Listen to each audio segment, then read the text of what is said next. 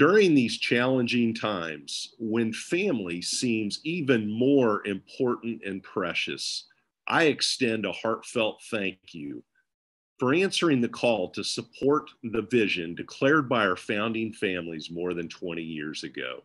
That vision that LCA would always be the school of choice for Christian families in North Texas who desire the best Christ centered education for their children.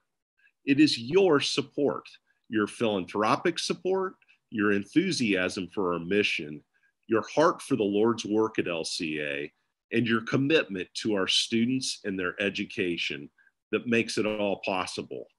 For this, we are truly indebted and very, very grateful. Thank you for honoring and embracing the legacy of faith, service, and sacrifice established by our founders more than two decades ago.